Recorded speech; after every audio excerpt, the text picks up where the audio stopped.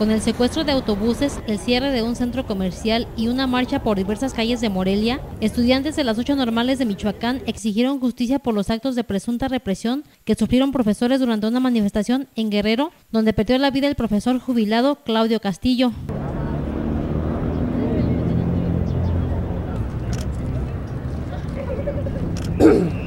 Encapuchados y armados con palos, los normalistas marcharon y realizaron pintas por Calzada La Huerta, J. Mújica y Cuautla para arribar finalmente a la Avenida Madero, donde sortearon el plantón que mantiene Antorcha Campesina y finalmente llegar al Congreso del Estado.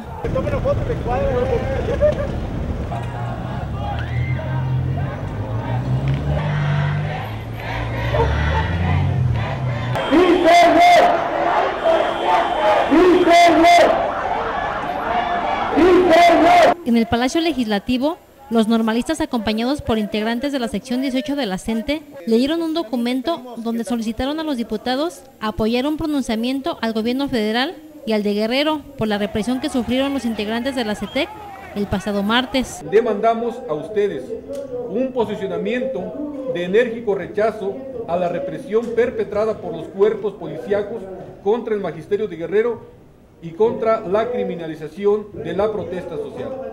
Llevaré al Pleno la petición de ustedes, si los votos al interior del Pleno no dan para que este punto de acuerdo sea avalado y se exhorte al gobierno federal a que cese los actos represivos, bueno, ya eso quedará en la conciencia y en la decisión de los 40 diputados. El mío está a favor del punto de acuerdo que nos están pidiendo. En el documento, los normalistas y profesores solicitaron también la abrogación de la ley de educación, la liberación inmediata de los 112 detenidos en Guerrero el pasado martes durante los presuntos actos represivos y el castigo a los presuntos responsables de la muerte del profesor.